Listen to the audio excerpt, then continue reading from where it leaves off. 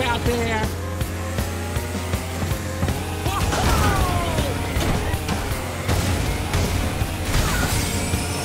Eat thy dick.